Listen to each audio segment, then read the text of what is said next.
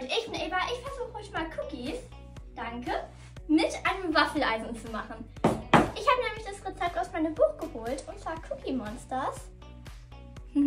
Das ist der Cookie-Teig aus meinem Backbuch. Ich habe den nur nicht eingefärbt. Trotzdem mag ich es bunt. Also machen wir noch ein paar Sträuße rein. Und die vermische ich jetzt erstmal mit meinen Händen. Meint ihr, das kann gehen? Cookies im Waffeleisen? Während ich jetzt hier erstmal den Teig verknete, habt ihr euch bestimmt gefragt, Eva, Und die meinen Pommelohrring. Die gibt es jetzt alle in meinem Shop. Also schaut auf jeden Fall vorbei. Und zwar auf www.alleseva.shop. Und jetzt müsst ihr das Waffeleisen einfetten. Jetzt müsst ihr so kleine Kugeln formen und legt ihr aufs Eisen. Und ich wollte euch noch mal was sagen. Und zwar, ihr könnt mich und Hey Easy nochmal am 30. April zusammen in Nürnberg treffen. Tada! Es hat geklappt. Ich denke, die sehen richtig cool aus.